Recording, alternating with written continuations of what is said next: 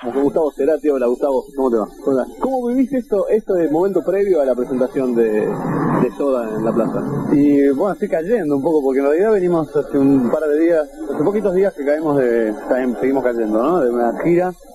Y no es que no tuviera la dimensión de la situación, pero ahora que estoy en Buenos Aires, eh, te digo, ayer salí a la noche y había gente en, en la capital, ¿eh? No, no es que anduve por acá, en la capital que, que todo el mundo me preguntaba cómo iba a ser el show de La Plata, qué, qué hora iba a ser, o sea que la expectativa incluso me trasciende, ¿entendés? O sea, ¿Tuviste algún comentario de gente que haya tocado acá?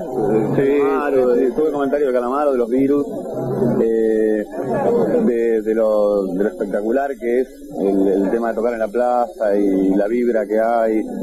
Eh, hace poquitos días estuvimos hablando justamente de eso porque también queríamos interiorizarnos. Por otro lado, mi cuñado vive aquí en La Plata, yo vengo más o menos hablando a menudo, así que y estoy más o menos cerca de, de- de cómo es la historia y un poco la conozco. Y bueno, ¿y cómo viviste? ¿En qué momento de Soda los agarra este recital? Bueno, por suerte nos agarra bien ensayados. Y este, bien, a mí me encanta el show que estamos haciendo. Eh, está realmente muy testeado, a pesar de que nunca es igual, pero está testeado en lugares increíbles de donde venimos, Colombia, el interior, Venezuela, Perú. alcanzan acá la copita. y este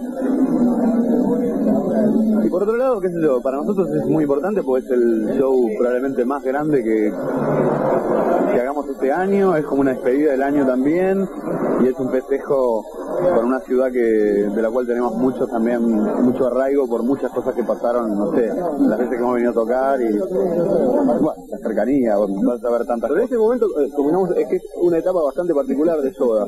Eh, hay una evolución que es innegable en un tiempo a esta parte, o sea, desde los comienzos de Soda. ¿Y cómo, cómo vos podrías describir esta, cómo te puedo decir, este cambio? Bueno, esta mutación es una especie de viveza, ¿no? Criolla, creo yo.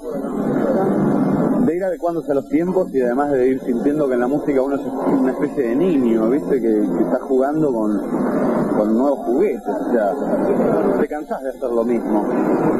Probablemente porque no somos un grupo purista que haga rock and roll o que haga blues o que haga, yo, no sé, cumbia, digamos.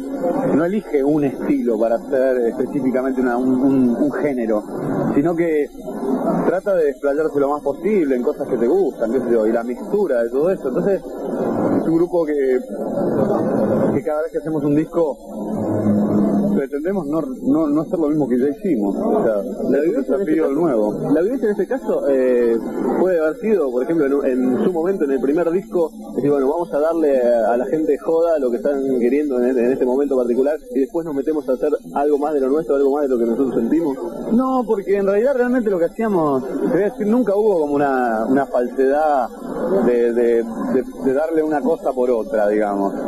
Este, no es que nosotros planeamos nuestra carrera, porque es, es- es absurdo no, una evolución. No, pendejo, o sea, cuando hicimos ese primer disco era lo que nos gustaba hacer, lo que nos interesaba y, y hoy lo veo con, o sea, una época de mucha alegría, o sea, bueno, fue muy importante cuando nosotros el primer disco deseábamos hacerlo, era lo que estábamos tocando, eh, encontramos con algo nuevo, hacer un disco, escucharnos sonados como cuando uno escucha la grabación de la voz de uno, ¿no? Qué raro, eso soy yo.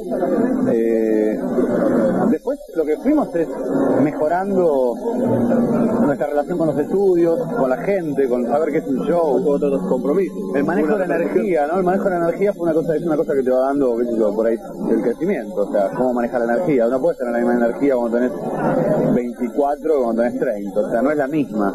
La dosificás, buscás otras maneras. Yo antes me quedaba fónico al, al segundo tema, ¿entendés? Pero digamos que- ¿Esto era más real? No, era, era ese momento. No